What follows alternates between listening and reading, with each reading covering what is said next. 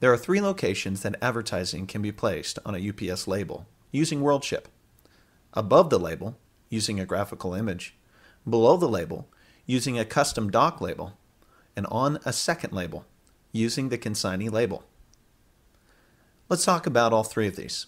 Above the label. This is created using the graphical image feature in WorldShip to place a static image at the top of the UPS 4x8 non-perforated label. There is no dock label available, and every label printed for that shipper number would have that graphic below the label. This is using a feature in WorldShip called Custom Label and uses the package dock label for advertising space.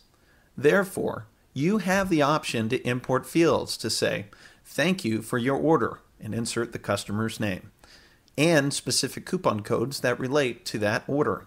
You also can have a shipment dock label, as you see here. Third label. This is using a feature in WorldShip called Custom Label and uses the consignee label for advertising space.